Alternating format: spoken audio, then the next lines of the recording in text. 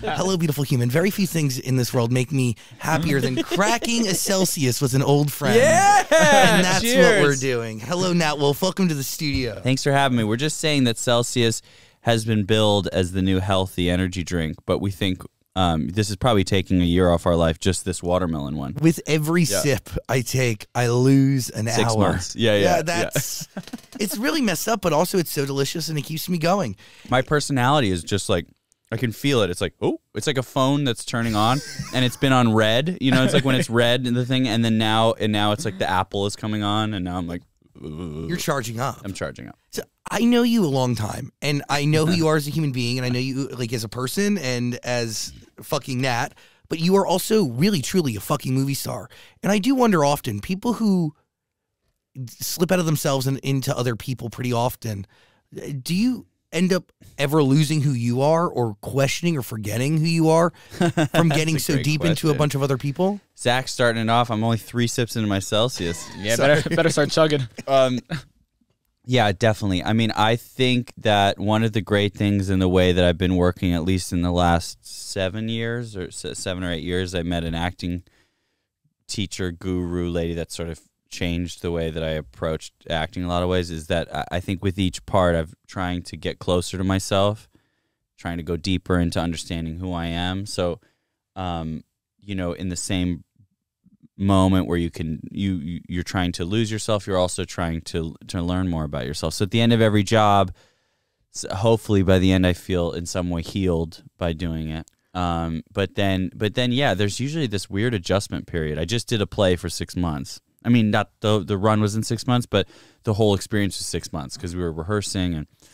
and the play was so dark and so intense um it's this little uh, unknown playwright Chekhov. Um, no, uh, he, he th- th- it was like an updated version of the seagull, and uh, at the end of it, it was a really strange adjustment period where I, I I got back here and I felt kind of like an alien in my my own body, and then um, then a about a month goes by, you hang out with great friends like Zach Sang, and, and I get to be with my brother, and that's there's there's these grounding things where you come back, but yeah, it is like visiting another planet, and then yeah. And you do that with uh, Hari Nef and uh, like decent cast on that, but why why stage? Like you don't necessarily need to do that. And I'm sure you get I mean you're also in a fucking pretty big Amazon Prime series. By the way, watch it.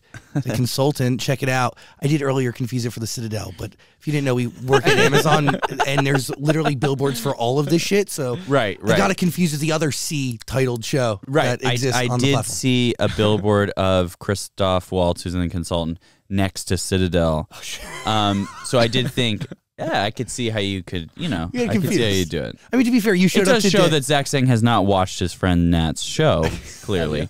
Um, I haven't um, watched the show and yet. and it seems like he hasn't watched Citadel either, because I'm certainly not in Citadel either. you don't need to do stage, but there there's but there has to be a deeper reason and meaning behind it, right?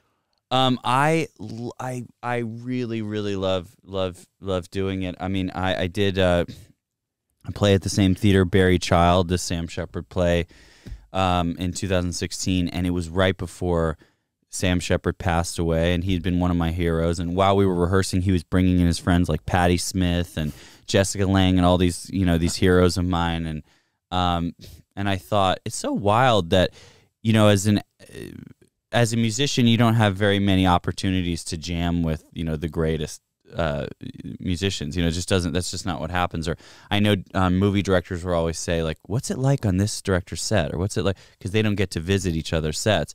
But as actors, you get to. I get to work with somebody like Christoph Waltz, or I get to work with somebody like Sam Shepard. I, I do. You do so many different projects in a year. You get to work with all these these incredible people. Here comes a Celsius. I feel it. Brain's starting to wake up. Welcome. Um, no, and and uh, but being you know doing this play, it's it's it's regenerative. Like I I feel as an actor, I just start to come back to, to life, and and then I got to have some of my my heroes came to see the play, and you know said really really positive, great things, and so it's a it's uh yeah. I mean, I I love doing it, and also you, you get the best material a lot of the times. I mean, this is a play. It's been updated, but it's a play that was written in the late 1800s, and the themes are just so deep and incredible that that um, every night you're doing it, you hear something new, and um, Is but- that the goal to make when you're doing a play that's repetitive and you're yeah, doing yeah. it numerous times a week? Is it the goal to make it new to you every time, or I mean, before you step out on stage, is there do you set expectations for yourself? I think the goal is to uh to to to play it however it it it you know to let it play you. So sometimes you wake up and you're like I'm just in a bad mood and then you're like I'm to I'm gonna, that's where I'm going to be. That's where I start, you know, not trying to control it too much, trying to let yourself go with whatever, you know, and then if something happens like we had a cast member get covid who was, you know, um so we had a week of shows where the director who hadn't acted in 30 years came on stage and had sides or like had like the script pages in his hands and you know didn't know any of the lines by heart. It was a it, and, and i was panicking. And then um i had to be like all right i'm just gonna embrace this. And i had some great shows. By the end of the week you know the first show that we did with him was i i i, I was trying to control it and being like doing but then i thought i got to just do this completely differently because he's not at all like the other actor. And uh and uh you know because he doesn't you know in the original with the original actor he was very caretaking. He would take care of me in the scenes. And then um What do you mean by that? Well, like his character took care of care of my character in the in the in the story. You know, my my character is this kid who is is not unlike. You guys watch Succession? Yeah.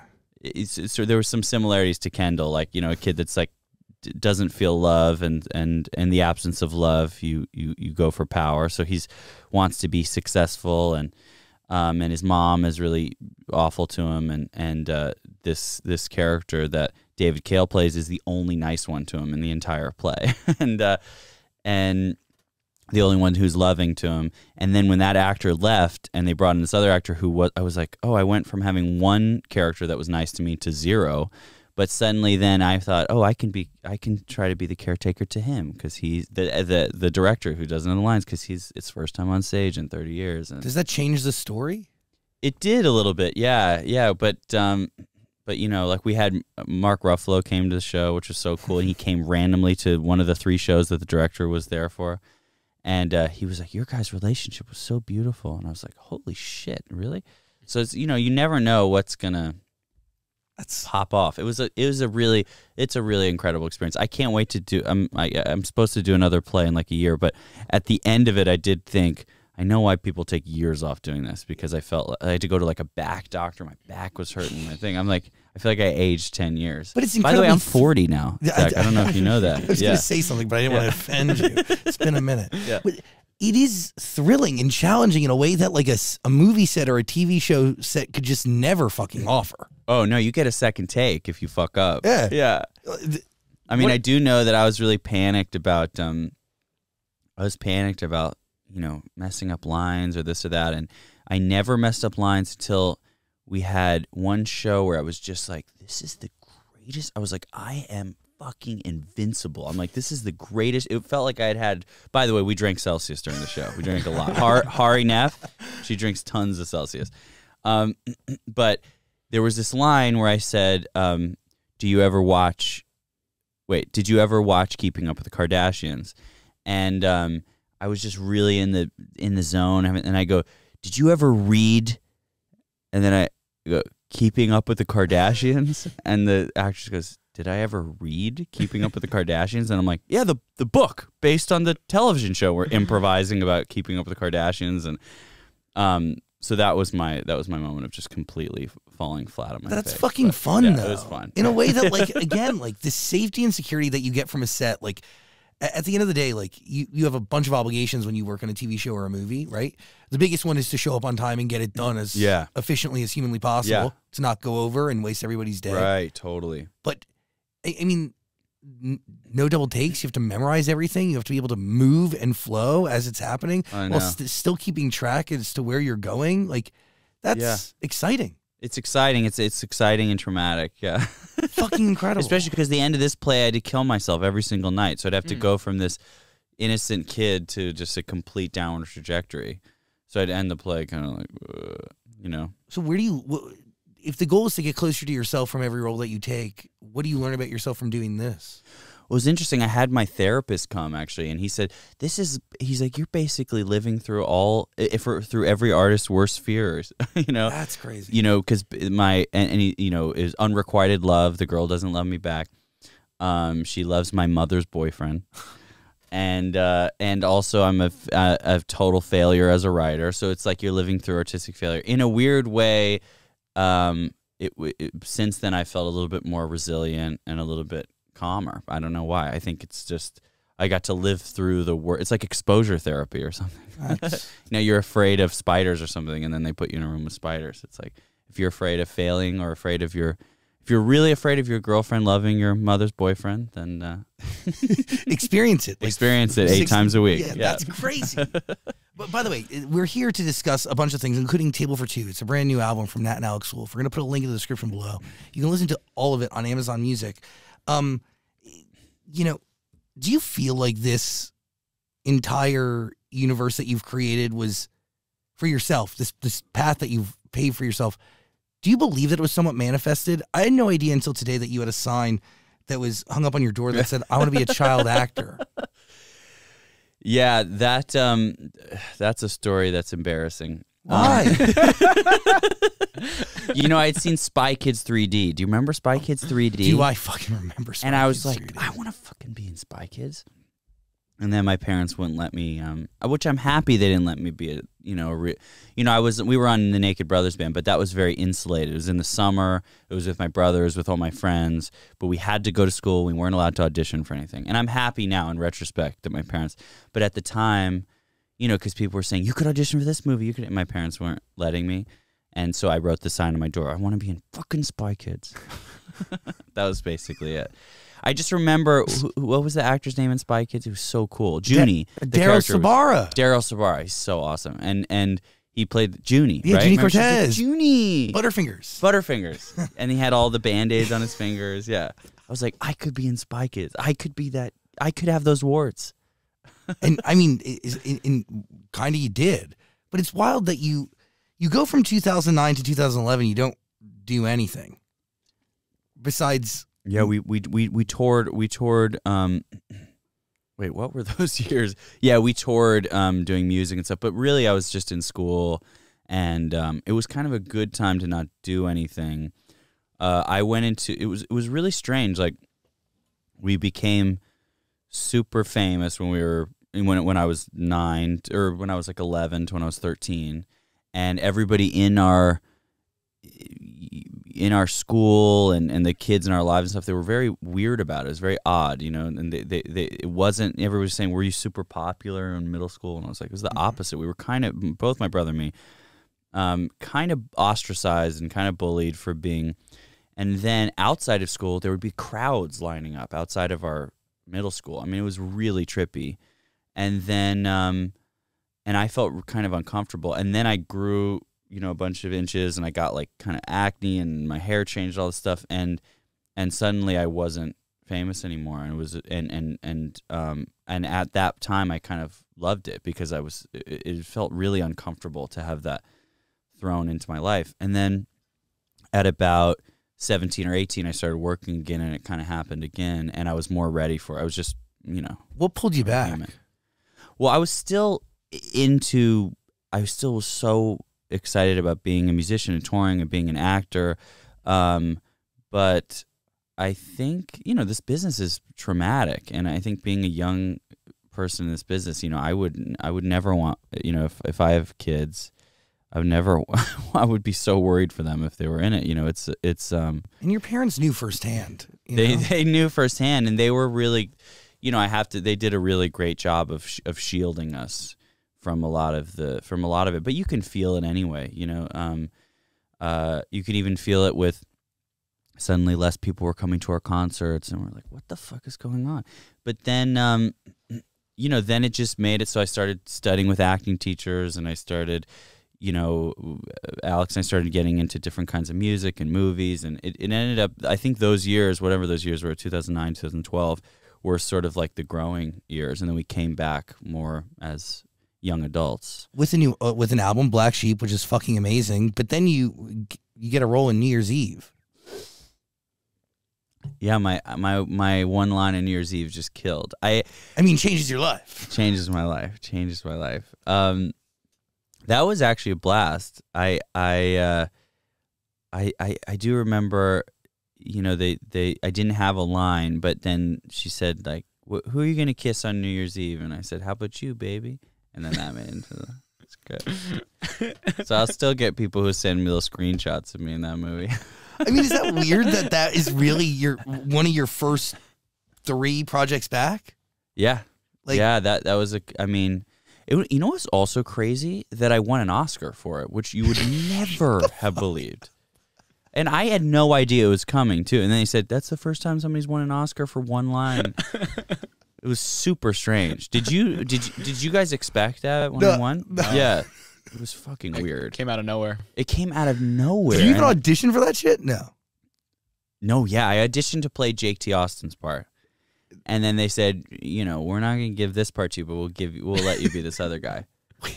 First of all, how incredibly humbling Sometimes you got to take the L, you know, to get the W. Look at you to now. get the W. Holy shit! I will say, then Jake T. Austin came to my um, high school, and my one memory of going to high school with him is that he asked me to pee in a cup for him. To give it to his drug, To, he was getting drug tested for his show or something, and he ended up taking drugs. Yeah. do So uh, you know he owes me because I did I did pee in a cup for him and uh, And you technically- he passed it. Yeah, God, he was crazy. I forgot that he went to that school and then he wanted to fight me one time at a party. holy shit! He wanted to fight you. Yeah, you know whose house I was at? Whoa. Um, uh, Abbott's. Do you remember that kid? Uh, what's Abbott. his What was fuck? his- Ian Abbott. Ian Abbott. He's Whoa, that is a blast. super from the wealthy. past. Right. I remember he wanted to fight me, and somebody goes, Wait, Ian didn't want to fight you. "No, no, no, J.T. J.T. Austin, Austin. at his house." And I remember he wanted to fight me, and then somebody goes, "That painting's worth thirty six million dollars." I was like, "Oh shit." Why do you want to fight you? Um, So you don't guys were gonna fight and maybe potentially knock over a thirty million dollar yeah, painting. you never know when we tussle like, I like an old timey boxer. I remember vaguely. I mean, I really, lo- I, I, he never tried to fight me. He was always really sweet to me. But I do remember, um, I would have had your back for Thank sure, so Zach. much. Um, I do remember him saying, "Hey, man, I'm working on this set. I was in L.A. He was doing this show. It was on, it was on Disney or Yeah, wizards. no, no. This was post Wizards. He was like a, it was a family show or something. But he was saying, I need to get some furniture, so I'm gonna steal some furniture off the set. Do you want to help me steal some furniture off the set? And I said, that sounds illegal, and I'm not gonna do that. But I remember one of my other friends did help him take like a desk or something, and he got caught trying to take a desk Yeah, off the duh. set. He's like, they don't even use it. It's there for the whole year. I'll bring it back before the next season. I'm like, "Dude, I think you got to get your own desk. That's a true story. It sounds like a good time. True story. actually terrifying because it's true, and that's what freaks me out. Yeah. That's genuinely what freaks me the fuck out. Um, do you remember going into the audition room for the first time after all those years? I mean, that must be scary as shit. I do remember. Yeah, I remember going in to audition for the Coen brothers. And I was sitting in the waiting room, which is still probably the coolest audition I've ever done. I was sitting in a ra- waiting room, and I was right next to Amanda Peet, who I remember being kind of a childhood crush. And she was like, Are you nervous? We obviously weren't auditioning for the same part, but she was auditioning for them. She was like, Are you nervous? And I was like, No, I don't think I am.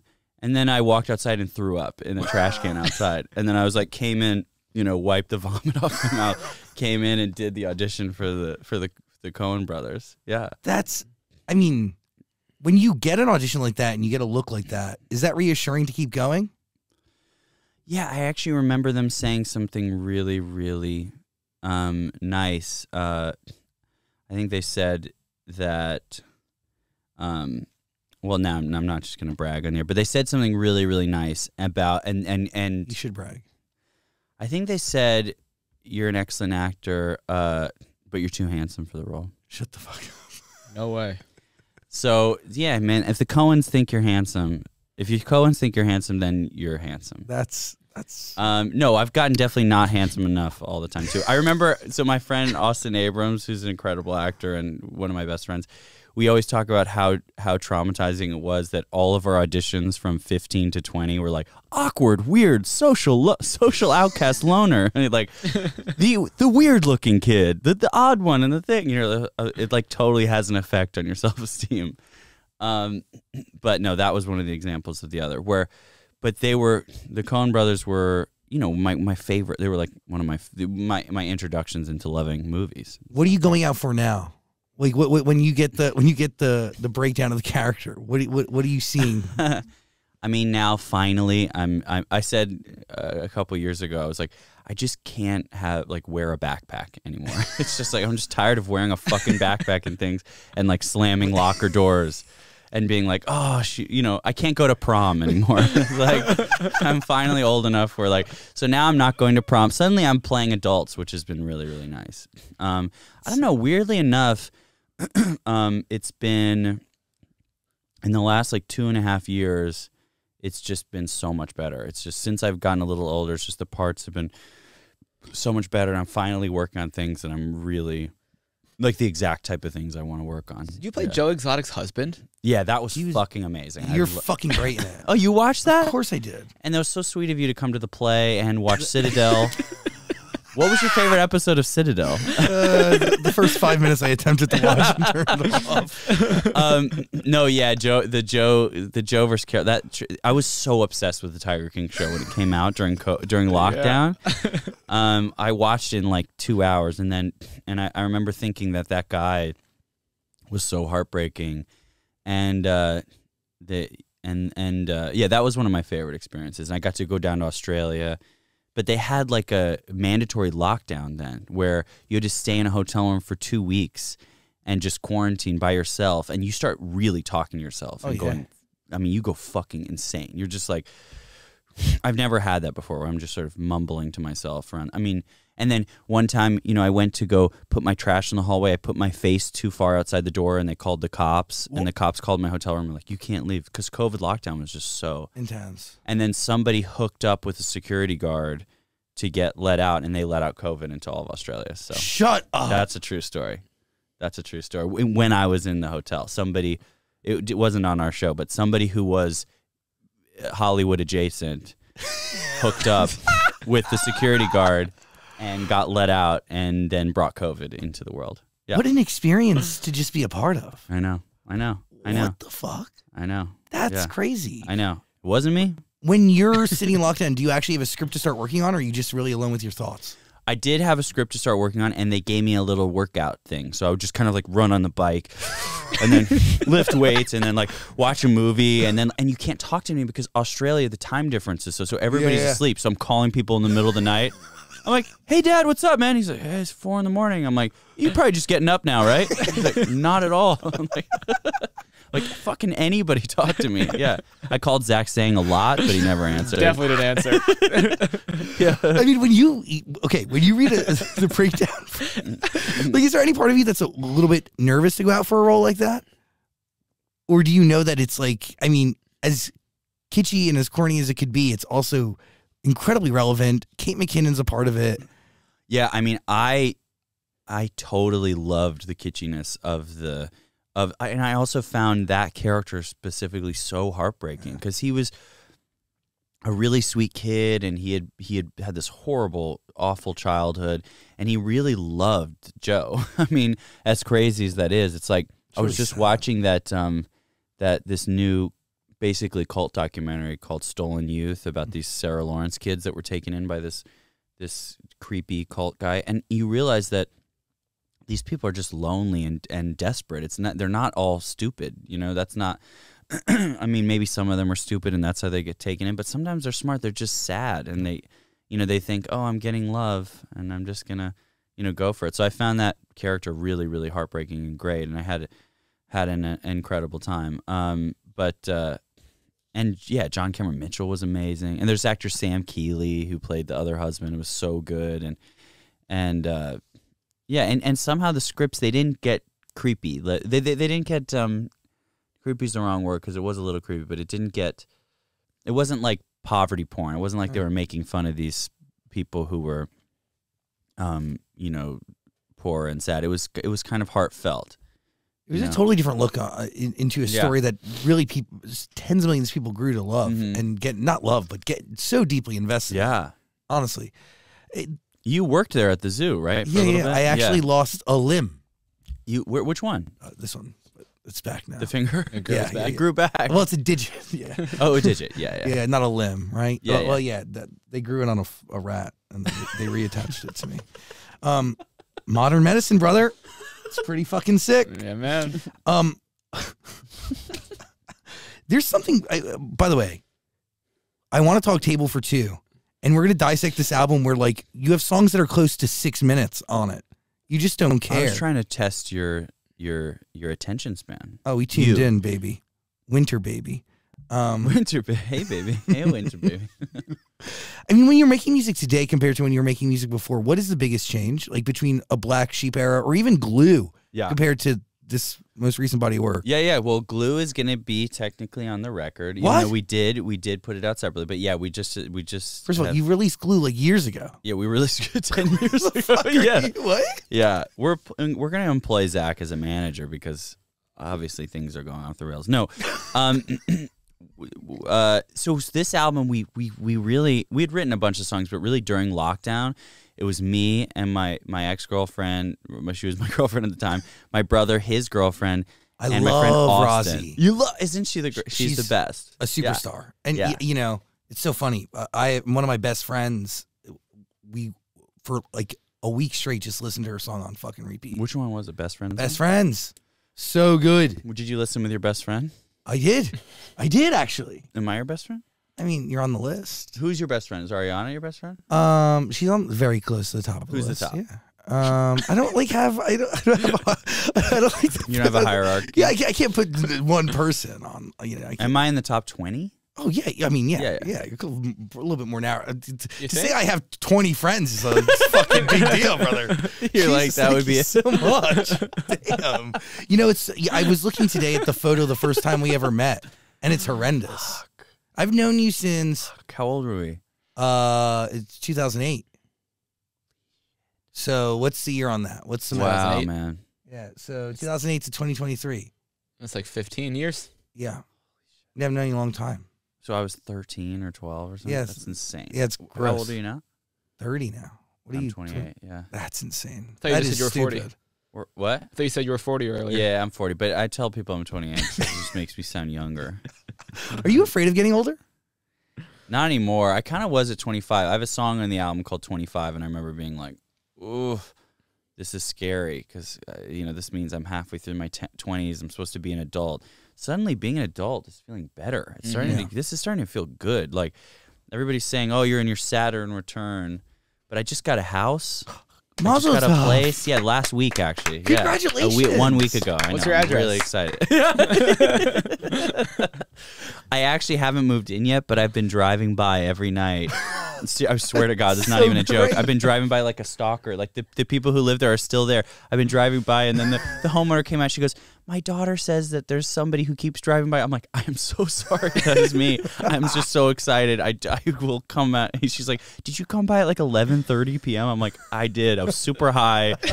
and uh, my friend and I just wanted to show him the place. that is such a physical manifestation and a tangible representation of really decades of hard work. It's true. I yeah, I mean it's true. It was it was it's one of those things where I felt like th- it's really a s- adult. It, it felt like an adult step. It's my first time having my own place. And amazing. Yeah, yeah.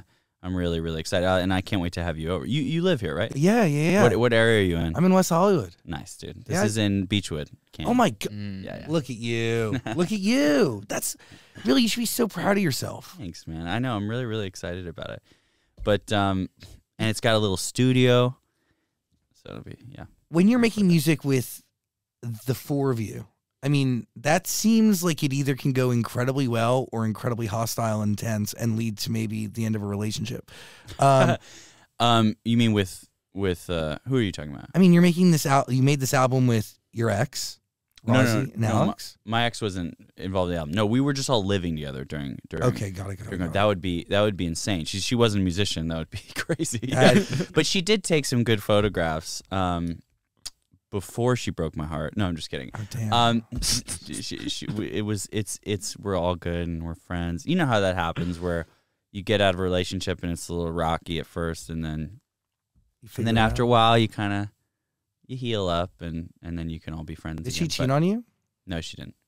She didn't. No, nobody cheated on each other. It was honestly COVID. I think was really was was hard on relationships. I think I think You either, lockdown was like, hard. You either got married in COVID or fucking Exactly. broke It was going to go one way or the other. You know, I think it was. It's like too much. It's too. It's too much. It was too much for even. You know, one of my best friends.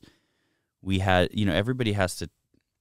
You have to heal after that because it was. str- It was a strange time. Um, but uh, no, I mean, my brother and I were in that. It was the first time we were living together since we were in high school and uh, and it was so fun. And then we we had all these songs. We played them for each other, and we worked on them. And then when things started to open up, we booked a studio for 11 days because we heard that's what a lot of our favorite bands would do albums in 11 days. And we're like, we're not going to go over this time period, and we're just going to do all these songs. So we and we just did the two of us. So we were we would get there to the studio, get early, and then just like run back and forth to different instruments. And we had rehearsed it so much that we were ready to go. And um, and then you know because we have a tendency to just take forever to do everything um, and be perfectionistic.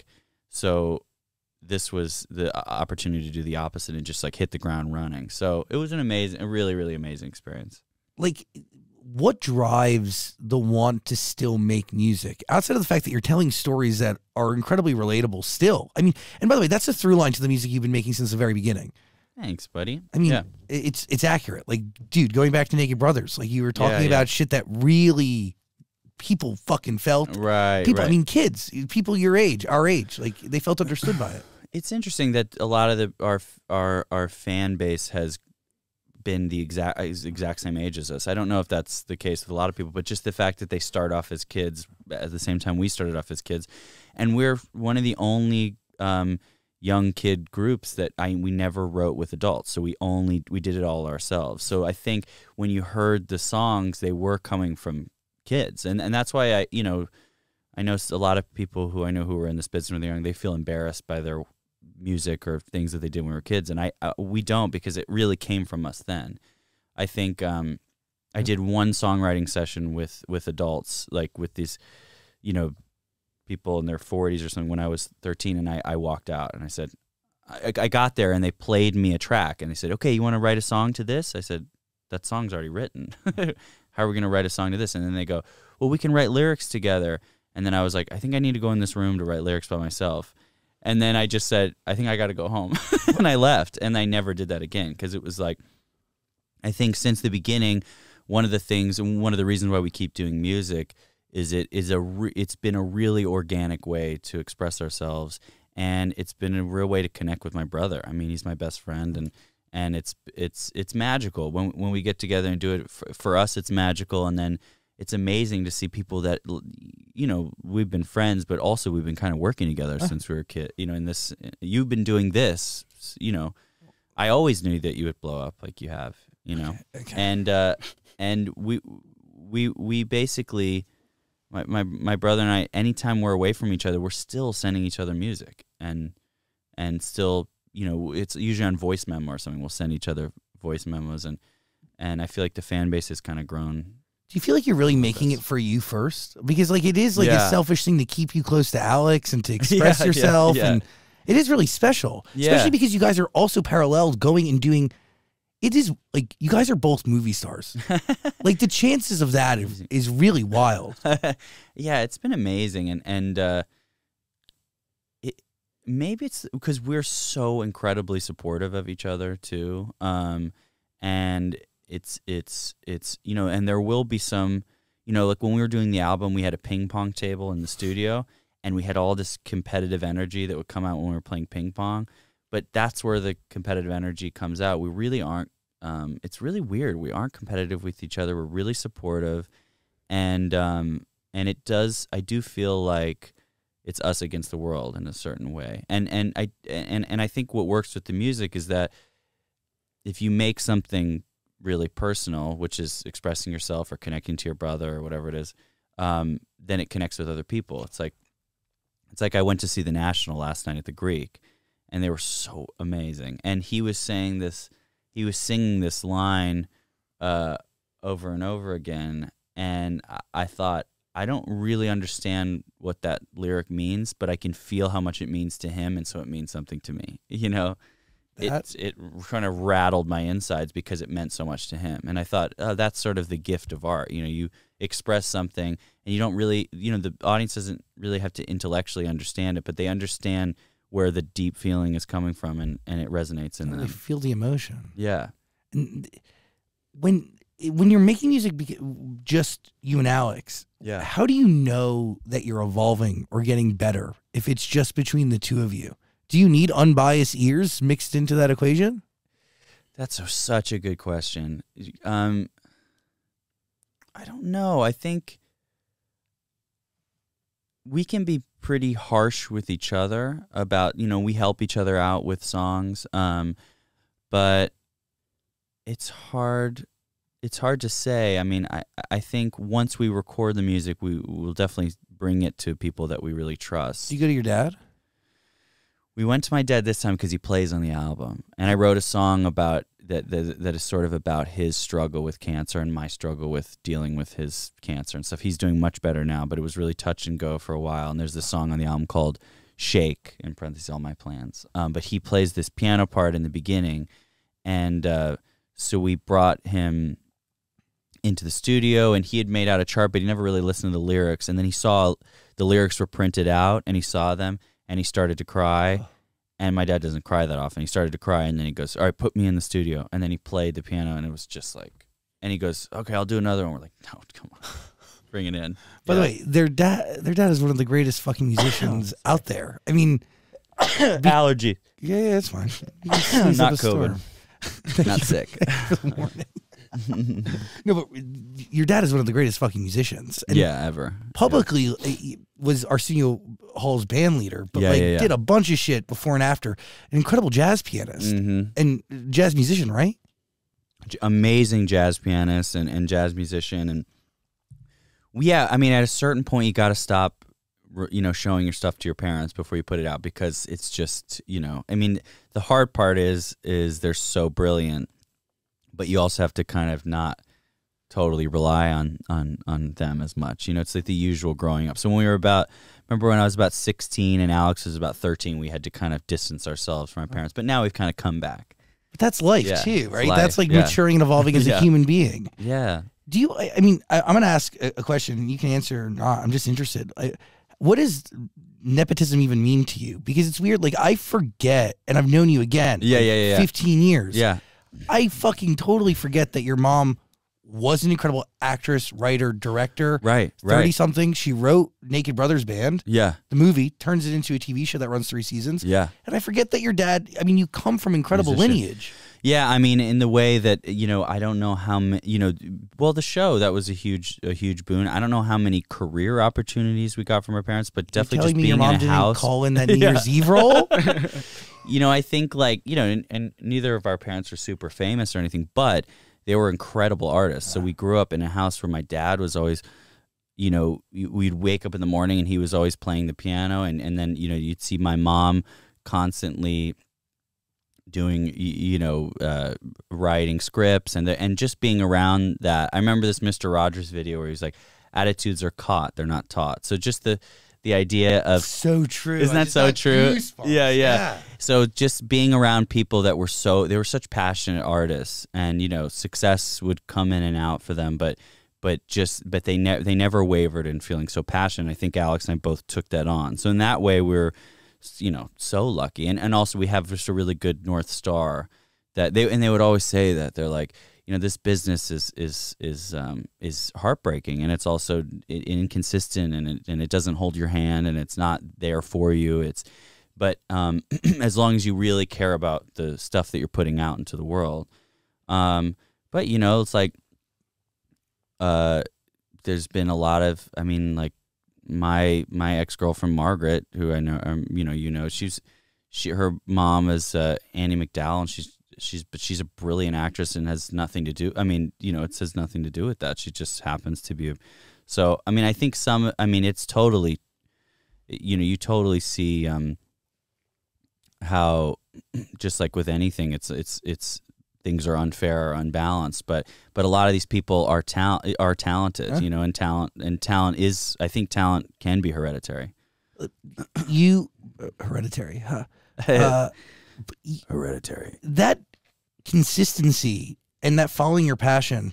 I mean, do you lean on that to get you through between 2009 and 2011 and even beyond that? Like, there had to have been something that just kept you going when you really didn't need to.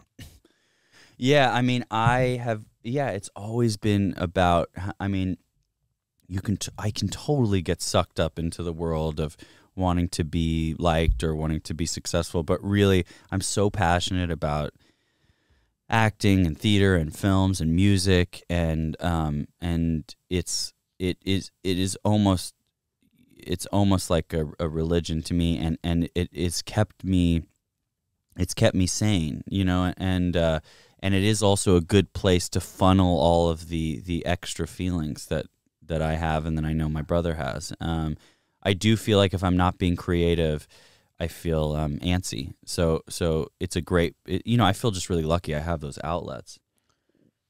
What are you about to say?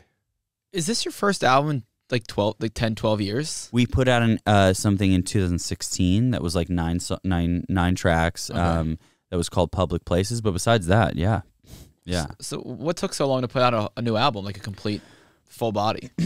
I think it's just been the the we've been writing the whole time. I think the acting careers have taken my brother and I physically away from each other so much, and it took COVID lockdown to actually just have us in the same room. You'd be like, we got to do something. Um, it's like we haven't been on tour in a really long time. But for this album, we're gonna try to do a tour in the fall and the winter. Um, but you know, like even with that, I just got a job, so now we're gonna have to figure it out around that. It's just hard with the scheduling. That's really really is scheduling. Yeah. How far out do you book gigs? Well, we're doing a gig in New York on June fifteenth.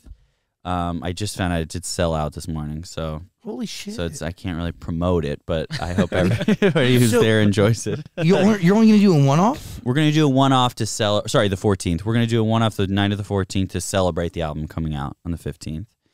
But um, uh, it's kind of like a party show, and it's gonna be the two of us. I don't know if you remember Boris Pelekh, who he played in our band, and he Yeah. came on one time onto your show. Oh my god! Yeah. yeah, he brought us there. Um, but he's gonna be opening, and he's gonna, and then he's gonna play with us and stuff, and then hopefully we'll get Jack Met to to play some. He's gonna play. He 'cause sometimes he'll play drums with us and play. That's different things. sick.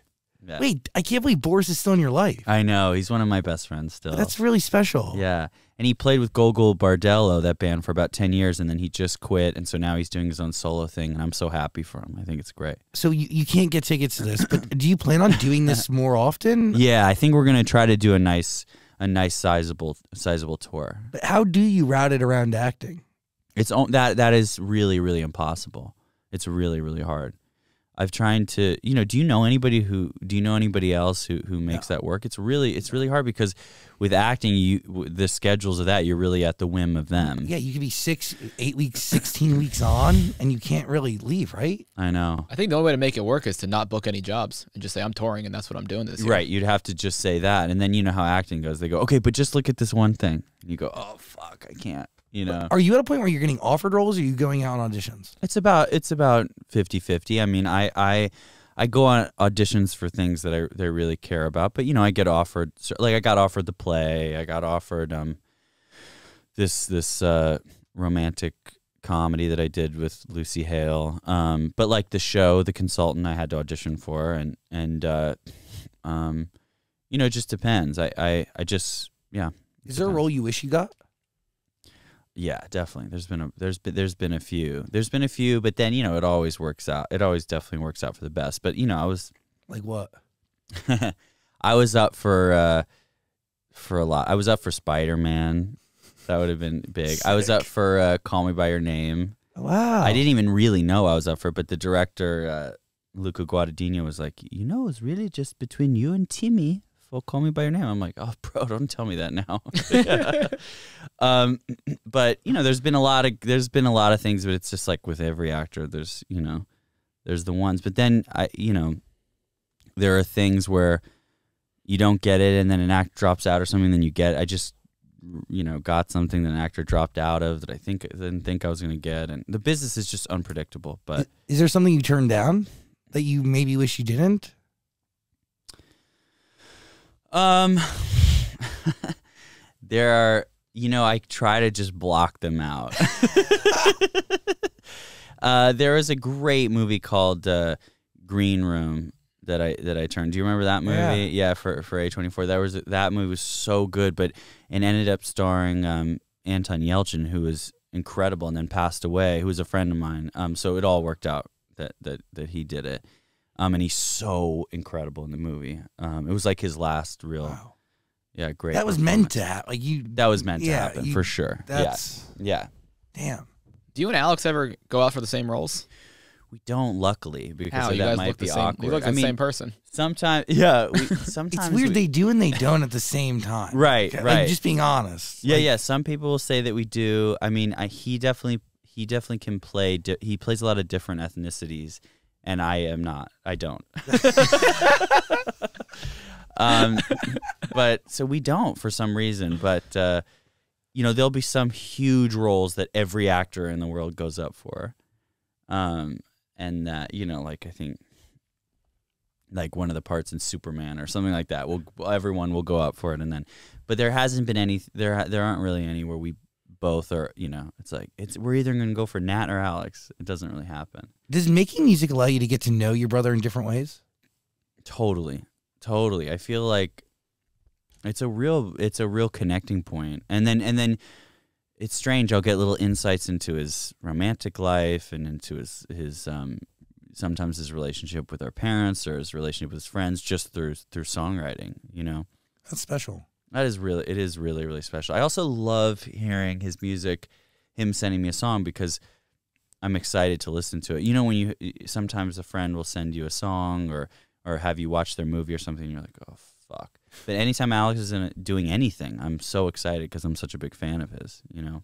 Uh, there is like, I mean, one like he's you guys are an extension of each other, but also like I don't know to watch you all win, also to create art Mhm. that again is like you don't set rules to these albums. I'm assuming, right? Like, do you put Set what? rules? Like, do you set any sort of genre like? You mean 'cause it's a hundred songs? Oh yeah, the album is fucking thick, and again, Winter Baby is almost six minutes in length. He's like, "What happened? You didn't make an album for so long." I'm like, "Well, we made up for it now." Yeah, there's actually four albums in the one, so lucky you. Did your oh sorry, were you gonna say something? No, I mean yes, but no. Did your mom sue you? Oh no! Oh motherfucker! I see what Um, you're doing here. Um, you're a real trickster, huh? You're the trickster of the group. No, my mom didn't sue us. Alex wrote a song called "Mother." I heard from your lawyer, and people keep asking us that. But really, it's one of our good friends who did have this happen, and uh, Alex wrote the song. But it's so hilarious because now we've been sending the album. They're like, "What happened between you and your mom?" I'm like, "No, my mom's lovely. We're very close to their mom." But my mom is like, "I just got a text from from my fam from it was one of our family friends. I just got a text from Barbara saying what's going on with you and Alex because of the album track listing." I'm like, no, mom, it's not you. It has to be interesting to have all the success between the two of you. And you said it earlier, like your parents were never super famous, right? But they were always really passionate creatives Yeah. Who really gave their all to their craft.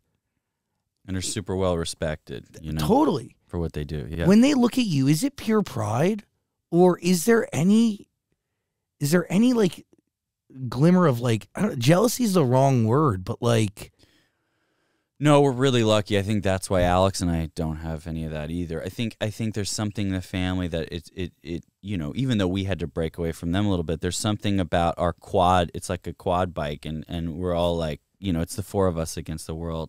Um, no, there's none of that. I mean, I think uh, it's always been.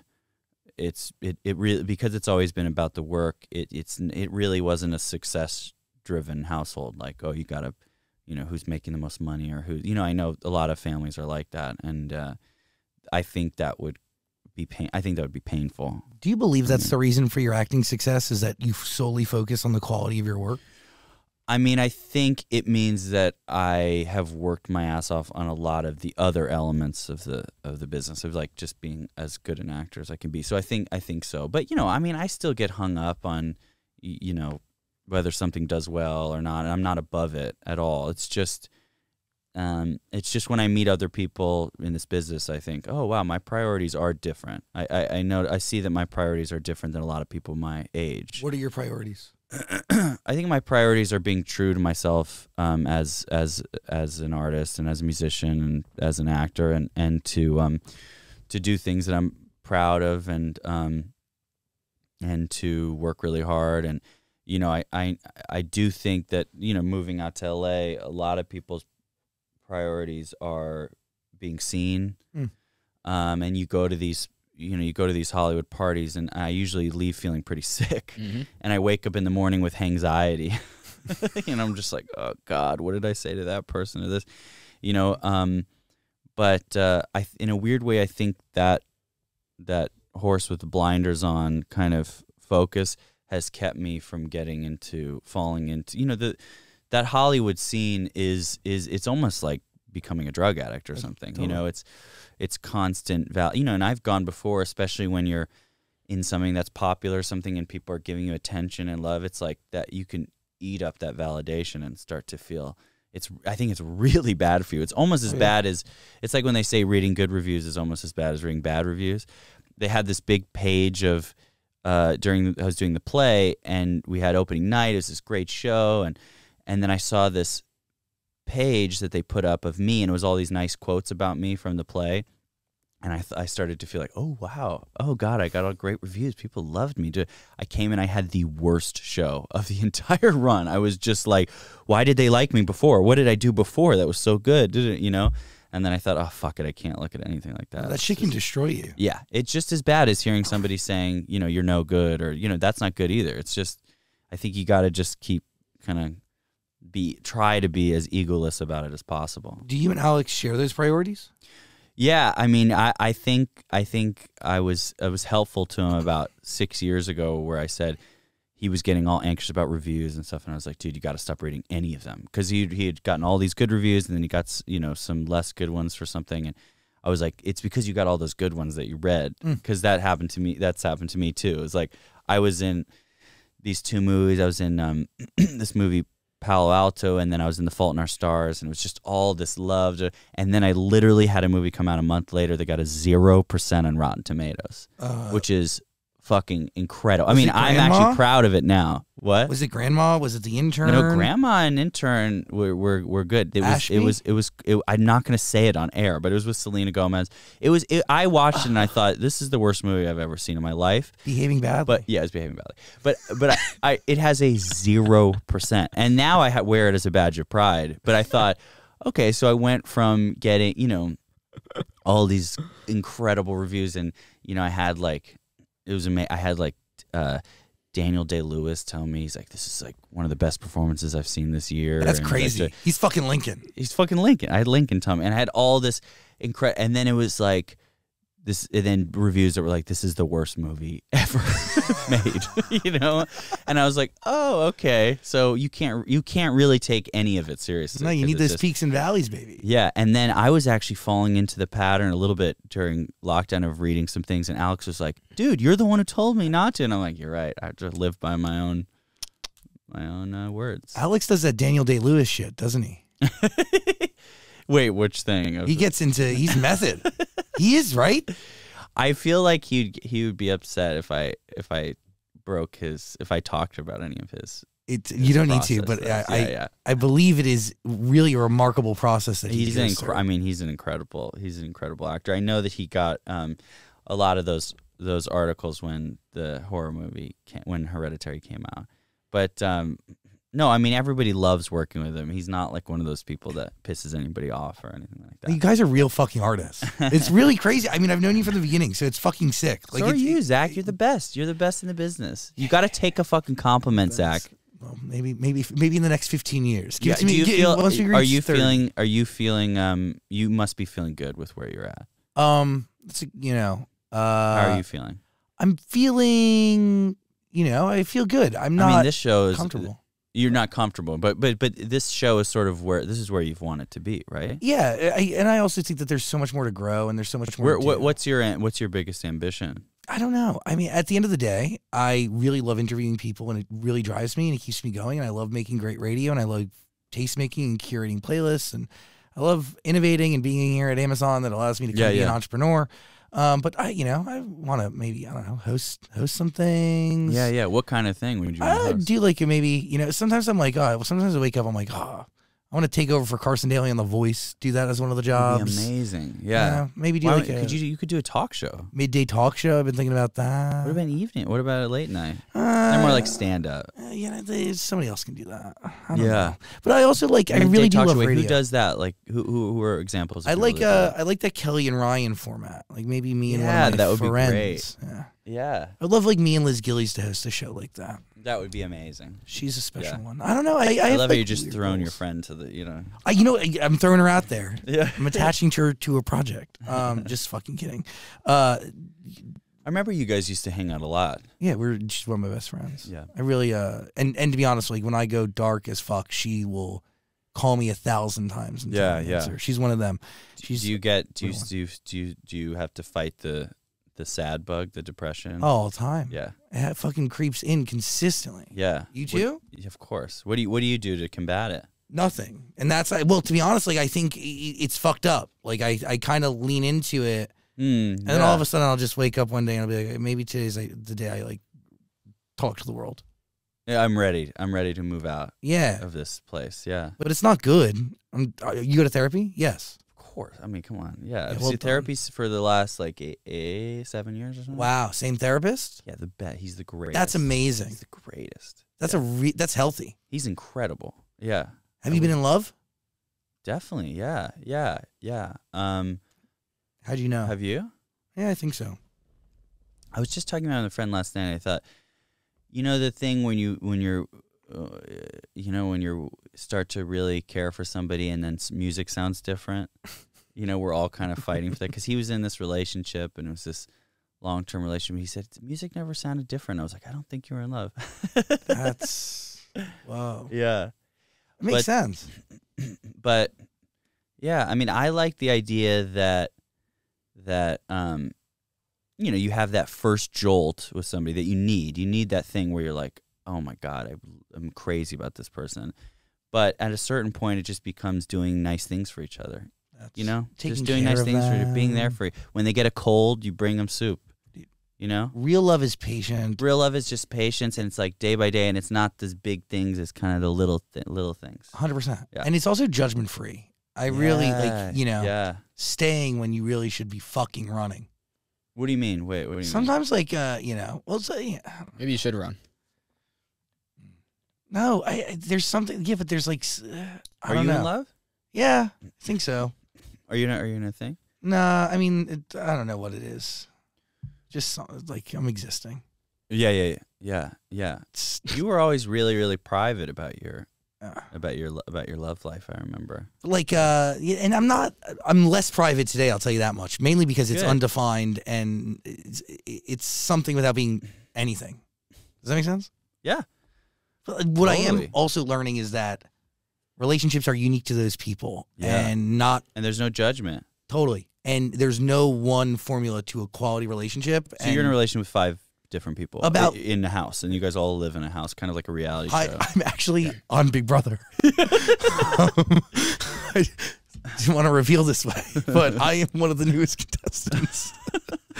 uh, Winter Baby is about who? Dude, Winter Baby, I wrote when I was 17. And I've been playing that song live for like 10 years. And then people were just asking for it so much. I was like, we should record this song. It was such a great live song. Um, Winter Baby, I wrote actually about a hi- high school girlfriend. High school girlfriend, but it was kind of before we started dating. And I remember it was one of my first times really getting high, getting stoned, which I don't really like to do anymore. I don't really smoke weed anymore. But in 17, 18, I was all into it. We used to smoke weed back then. We used to smoke weed all the time. Yeah, I remember getting high with you on 420 in a fucking apartment that was literally the size of maybe a Sam shoebox. Gustafson's house. Yes! Yeah, yeah. Oh my God! yeah. Wow. I remember that's- just getting uncomfortably high and being like, I think somebody's got to take me home." that was like one of the first times I ever got really high. I remember. I remember you going real quiet. Yes. Yeah, yeah, we put on like a record. We put on like an Elton John record or something, and then everybody. You know, it's that weird thing where we're all like super excited, and you're like, "We're all gonna get stoned together," and, And then then- suddenly everybody's just like thinking about their lives, thinking about like, I remember that sad thing that happened at camp one time. You're just kind of like in your own, you Isn't know, it weird like, that like those memories stick with you even Yeah. though you've lived so much fucking life? I know. That's know. nuts. And I forget sometimes somebody will be like, "Oh, you worked with this person." I'm like, "Fuck, I've worked with that person," and I completely have forgotten. But then little things from from high school or from middle school, yeah, we'll stick But with those me. are I don't want to say like those are some of the important stuff, but it I kind know. of is. It is. It is. Yeah, those little moments. I still talk to Sam all the time. I'll tell him you said hi. Yeah, Even though you didn't. No, I. Sam was also on Citadel. Just kidding. Um, who wasn't on Citadel? I, just- I remember Gillies was on Citadel. Graham Phillips was on Citadel. Hi, Graham. I love you. Wait, so why are you? I love how some artists are like, you know, they sit on records and then they just move on. You're Yeah, like, no, yeah, no, no. This needs to be enshrined on an album forever. I mean, how many songs are made new for this, and how many songs are things from the past? Everything but that song. So all the songs but that song were were new. But um but that song it was just a holdover and I'm like we got to record this song cuz it came we did like a whole new version of it. We were on the last day and we had this whole instrumental wild section. And then we we cheers because it was the end and we had some champagne and I think Alex had like a shot or something. And he was like Alex was kind of a little wasted and he was like you know what? Before we like close up shop he's like let me throw a solo down on that thing. We never solo really. And I was like all right. Now I'm a little drunk to him all right. And then Alex gets the guitar he does this solo on Winter Baby and uh, I start crying I was like dude we got to put this on the album this is amazing and he's like I blacked out, man.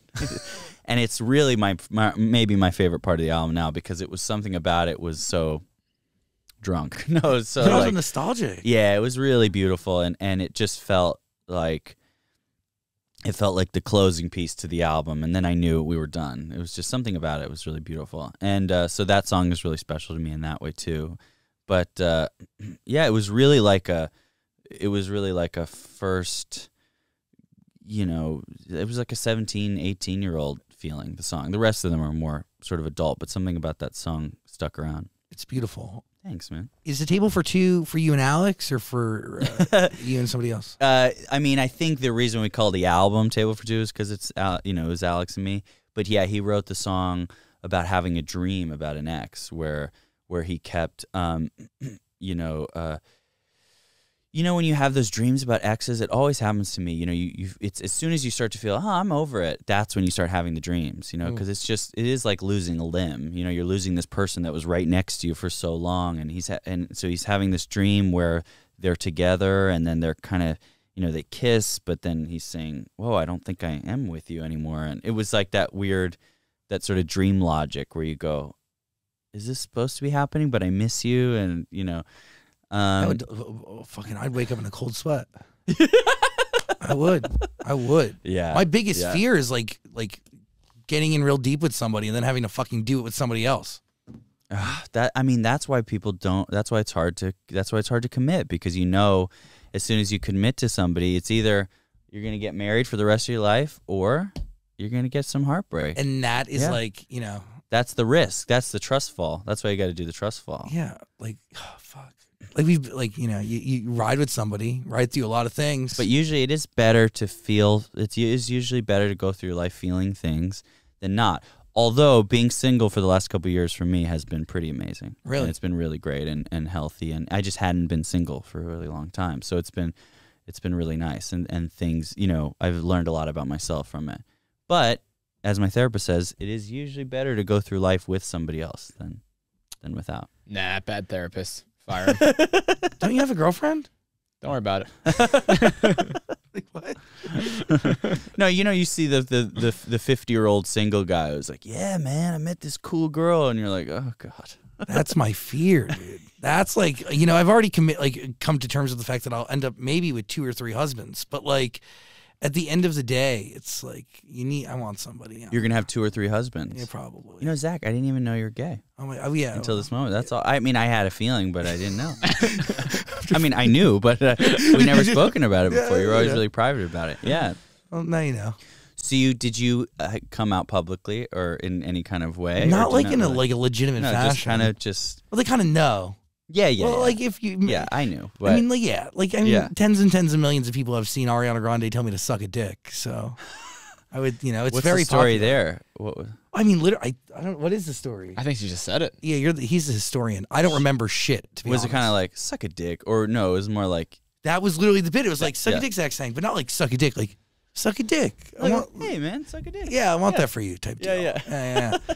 and that's uh, I'm happy for you. yeah, for for many for a couple years. But people you would think yell you'd that. have three husbands, not just one. I would hope. That, I, I At want one time one. or go through three? no, go through three. Go through three, But I want you have one. I was thinking three in a big house in that Big Brother kind of way. Yeah, yeah. You know, the first guy I ever like actually was going out on dates with ended up calling it off with me to join a thruple. No way. Yeah, he's been in that thruple ever since. Tiger since. King vibes. Ah, fuck Yeah. yeah. Yeah. eight years later, he's still there. Oh, he's still in it. yeah, yeah. Well, I mean, you can't. I mean, who you know? At least you can spread your heartbreak and jealousy to two people as opposed to one. how, how crazy is that concept? Like, Sometimes I think about like being able to do an open relationship. and also, you're never going to be able to be two people. No. So you No. can't say, "Oh, I'm not as good as two people." You know what I mean? They're two whole people.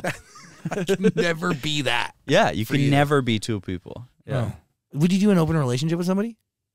Um, I don't know. I, I, I get real. I, I have. I definitely. Would, I might get too jealous. Um, I, de- I, I definitely feel like I'm more of a, a one person kind of guy. Yeah. One trick pony. That's not what one trick pony means. that you were this this years old when you when you learned what one trick pony means. Can you do your uh, Bruce Wayne voice?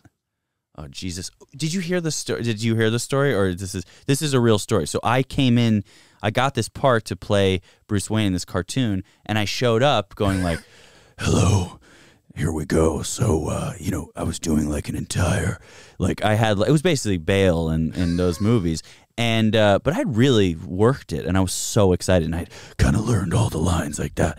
And I did about two hours. We took a lunch break, and I guess they sent it to the studio, and they came back and they're like, "Hey, so they they hired you because they like your real voice." and I said, I, I, I don't I don't think I can do it. And then I called my manager and I'm like, hey, I, I, I really don't think I can do it. I, I, I, I figured out a voice for this. And it was like Superman. Cause you know, it's, I mean, the, I don't even, I don't even really know the plot of the, of the movie, but I was like, I was really gung ho on this, this really whack. Also, it wasn't totally Bale. I put my own spin on it. I felt proud. I felt proud of myself. And then um, my manager sort of talked. I said, I think I got to leave. I don't think I can do this. My manager sort of talked me down, and she was like, Look, this is you know, they they you're playing a 16 year old Batman, so I think they want you to talk like yourself. So I came back kind of angry, and then I started doing it, and yeah, it's fine. So, So now, what is it? Turn it on. no, the fucking voice is my voice. He's been doing Now- it for an hour. This is it. No, this is this is all I do now. They they didn't want anything. Like like even then I was kind of doing like like a Batman that was, "Hey man, we're going to" and they're like, "No, really, we want your voice." And I was like, "I don't want to do that." And they're like, do that. yeah, exactly. Yeah. So then yeah, I got stuck with it. But so now you can just it's basically this. I this could be Batman this entire time. Yeah. yeah. I tr- I had so many different trials for Batman too. I was like, what if Batman was kind of English?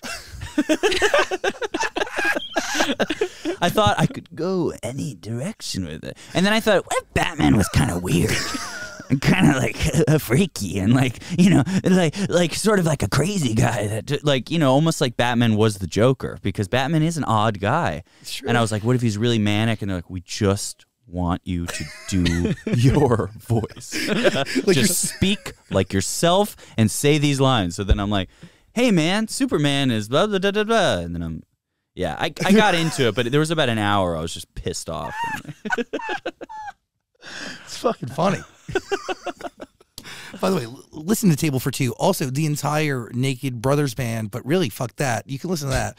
But Nat and Alex Wolff is what you want to listen to. The whole catalog is on Amazon Music, but Naked Brothers Band still the catalog Yeah. lives on Amazon Music. I know. On Amazon Music, it's you can still listen to Crazy Car. You know, on Spotify, for some reason, you can't listen to Crazy Car. But so Paramount sort of a- owns that trademark. Did that surprise you when they bought Naked Brothers Band off you? Like not off you, but Yeah, I mean, you know, there was always weird things. Like when we were kids, we were I was watching TV. I was probably 12 and I was watching TV and I saw a Subway commercial and I went, "Oh my god." My and I heard doo doo doo doo. I was like, "My song's in a Subway commercial." And uh, my parents go, "No, it's not." And I'm like, "Yes, it is." They're like, "No, it probably just sounds like it." And then it was, and they were kind of ripping us off or something. And we got ended up getting paid for it. But yeah, there's always been tricky stuff with that. But then um, it's wild how people still, uh, you know, like on TikTok. There's been all these Naked No, Brothers lives songs that's forever. like blowing up on TikTok, and and uh, and then our song, uh, my our one of our singles from this album, "All Over You." blew up on TikTok and we didn't even we, we never made a TikTok for it. It just became one of the songs that people put in the back of their their TikToks or something. what does that prove to you? I don't know. I never. Th- I mean, I don't even. I I went on TikTok for three weeks and I thought this is so addictive, so fun, and so evil that I have to get off because like immediately they start pl- the algorithm starts showing me all the things I don't want to see. You know what I mean? Totally. Um, but so I got off it. So I don't think of myself as a TikTok person, but but it really, I guess it shows that our you know our music still connects with people. It know? resonates. Yeah. Without you really it, it always finds the right audience. It always finds the right audience. Yeah, it's been crazy. And then you know, like Glue, Alex's song had So all these good. millions of uh, you know plays on Spotify and all these things, and and we don't really It's not like we tour. It's not you know. It's just I think the music just kind of gets through. But uh, but honestly, I'm not just saying this. You have been very very helpful, especially for like uh, rules, and um, I can't remember what the other song is called, but you. Rockstar, you played all those songs on on air. Get out of town. First of all, And also, you would do these things where I remember you you would take your shirt off and you'd do videos with your shirt off talking about our music. always. And those videos would blow up first because your shirt was off. yeah, yeah, yeah. yeah. And they'd say, "I want to see Sang with a shirt off," kind of thing. That, that would. then- and and people would be like, "Sang, Sang, Sang." I remember shirt off, this. Sang, this Sang." is actually a really is a very very very vivid moment in my yeah, life. yeah. I mean, it was a Last dark time time. I- it was a dark time. It was the life. last time I took my shirt off? Uh, Yeah, yeah, because you're a never nude. I am a never nude. I do exclusively shower in clothes. yeah, yeah. I have a body like a wetsuit that I wear. You all the time. Yeah, yeah, under what I'm wearing right now. You have three husbands, and none of them have seen you naked. no, are you crazy? That's gonna ruin the fucking illusion. They're gonna leave me real quick. No, no, no, no, no. Anybody who's getting intimate with me, it's pitch black, and I'm wearing a f- fucking six piece suit. Yeah, yeah. Or like in Arrested Development, you're wearing one of those those jean shorts. Mm, I love those. Or a chastity belt. Or a chastity belt. You got to do it once in a while, man. Uh, yeah, yeah, yeah. It actually, yeah, the metal hits. Um, listen to Table for Two, please. We're gonna put a link in the Listen to description Table below. Two. Um, it, it makes whoa, it makes Whoa, me happy. that's that Celsius. Yeah, I'm ready for Celsius number two. we can. I got one for you. You do? Uh, of course Hit me with it. Let's go. Here, here. I am really jazzed that you continue to make music because I, I ultimately think that for society and for kids and for people who grew up with it, it just matters. It's because it's become such a part of the way they operate and live, and the music has really etched itself into people's lives. So, I, Do you think more than? Do you think that? It, do you think in any way it's been more than before? I think. Well, I think Glue really fucking did it. Oh, oh, I just meant. Oh, I thought you were talking mean? about music in general. Oh, no, I'm talking about you. But I think music in general, I think honestly has become more fleeting. You know, the democratization of the, the music industry has led to more songs to come and go and more one hit wonders in the last few years than we've seen in a long time. What do you Um, think that is? well, I think wh- when anybody has the opportunity to go viral and Yeah, yeah. the platform is at your fingertips, it everything changes. Like, you know, th- there's no barrier to entry anymore. I mean, there still is to get songs to a certain place and to grow it. But but less- you can kind of hit based off. Totally. I don't want to. I won't say who it was, but I did read this.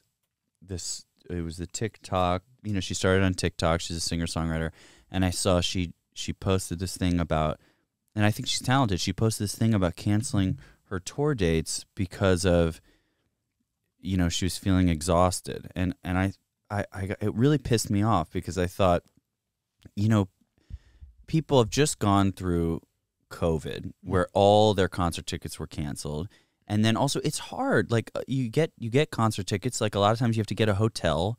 No, you know, it's a lot of money. Their, huge their hard-earned money to go see you, and uh, you know, I just feel like that's very emblematic of the music industry right now. It's sort of, I don't know. It's it's not. You know, I think you know a lot of the great the uh, the greats that we all love, and even the great pop stars like the the Justin Timberlakes or Bieber, and they're like workhorses. Oh, yeah. you know Taylor Swift is like the hardest work. I mean, I've ever seen the hardest work I've ever seen. So it's just it is kind of this. All right, I'll just kind of write a song, and then I'm feeling a little exhausted, like this TikTok. Um, It's a little blasé, man, and yeah, they're kind of blasé, and, and and and you're like, this isn't gonna last. And also, I if I book tickets to your show and then you cancel it because you were tired, I wouldn't book tickets to your show again. hundred you know? percent.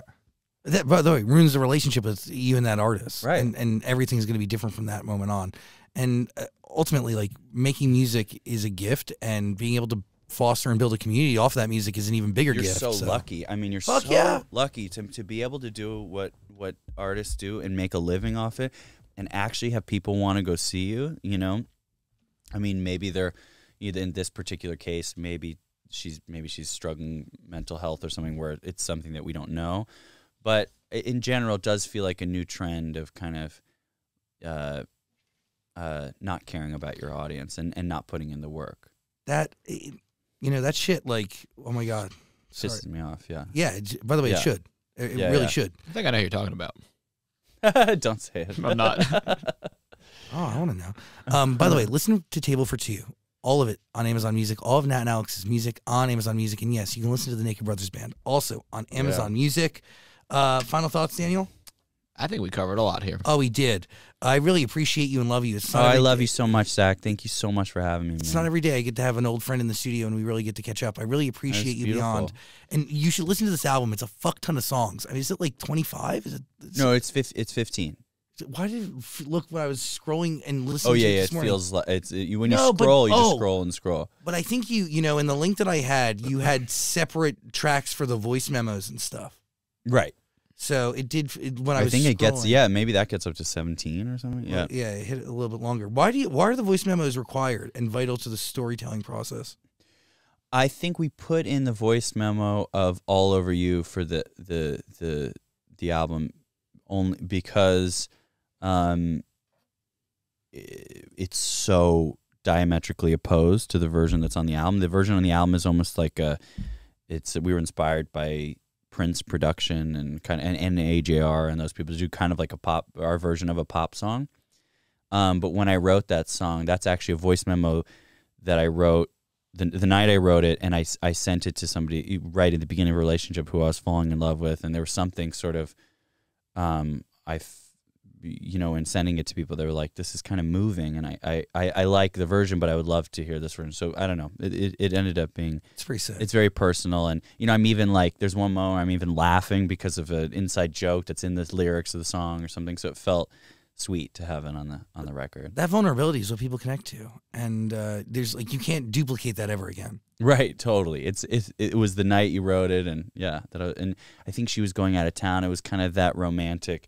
I just wrote it. I'm going to send it to you. I'm feeling all these feelings, and I mean that's uh, I've sometimes in in my love life and stuff. It's been hard for me to express how, and, and really understand how I'm feeling, and, and it really is through music that that I'm able to to to to figure it out and and then to to express it. It's been much easier for me. How are you guys writing? Do you write to like? Are you doing an instrumental and then writing songs? Are you starting with lyrics? What's that process? It goes back and forth, but I think um, my a lot of the songs from this album have come together. Like that song "Moon" that's at the end of it. I don't know if you listened to that one yet, but um, but it is that's one of my favorite on the record, and, and it was inspired by Martha by Tom Waits. I listened to that song and I was really moved by it, and um, and then I wrote the song actually pretending "Moon." I wrote pretending to be Tom Waits, so I was like. Moon, you're so far away. Kind of like acting or something, where I did like a, a fake voice, and somehow that got me the song. I did my Batman voice. That's pretty, but that's pretty cool that you were able to combine both worlds a little bit and take on a yeah, character. totally, totally. Is I that feel song- like that happens to me a lot with with music. Yeah, Are you writing from imagination or are you writing from reality? I think somewhere somewhere between. Um, but but a lot of times I'll write. I'll have little images and and but you know usually the feelings come from reality, come from some kind of real place of heartbreak or or or love or or you know the the song with my uh, about my dad you know that was pretty pretty clear but really the you know I didn't I thought I was writing a song about um you know how painful it was that my dad was sick but really I was kind of writing a song about um my own guilt about the way I handled it um and that only really I only understood that when I was recording the song. I'd already written and then I realized, oh, this is kind of about my guilt about it, you know. That's fucking art, man. Yeah. Um, you know, it's like and then being like, oh, you, you know, one of the verses like joked 3 years was all he had and I just laughed. How cavalier did I forget I'd lose my dad because you know, there were these times I just had a real, you know, when that was happening with my dad, I had a real emotional disconnect. Um, but it's strange how sometimes it takes me into perform uh, you know performing in the studio or on stage to really understand what I was writing about. It's like last night there's this song off the new National album that I didn't really like that much, Eucalyptus, this song, and I heard it on stage and I went, "Oh my god, I didn't understand it." That's what it was. Yeah. This song is fucking brilliant. Um, it was like because I thought, oh, he's just listing things. He's like, I don't know if you've heard it, but he's like eucalyptus. He's just li- listing a bunch of stuff in his house, but then I was like, oh, this is a breakup song about, you know, I'm just gonna leave all this shit for you. I'm gonna go, and if I, and then he says, if I miss it, I'll visit. And somehow that line last night when he was singing it hit me, and I thought, oh, that's so heartbreaking. That's, you know, when you leave a relationship, you just leave a bunch of, sh- you know, you you leave, you just leave a bunch of feelings there, you know, and you leave a bunch of yourself and your, um, and it was so so beautiful. I'm not sure if he's going through a divorce or something, but it felt you felt the pain. Yeah table for two. Link in the description below. I really appreciate your time and energy, and I also appreciate the fact that you continue to make music. It makes me very happy. So oh, i missed you so much. I hope that I can let's let's do this more often. You can come on so the show nice. whenever, but like let's get dinner. You live here. I would you love have, that. Now, so now I'm living there. I'll be in New York for about a month. I'm back July for life. Okay, great. I will text you. We, I still I have your number. Love that. Please text me after this. I, I will. I love you so much. You're the best I interviewer in the world, and you're the best guy. And I'm so happy for all the great things that have happened. Oh yeah, and I'm gay, so and you're gay. What a, what a, what a day to be alive. What a time. You were always gay. I was always gay. Dan, you good? Yes, sir. Nat Wolff, everybody. Love you, Love you.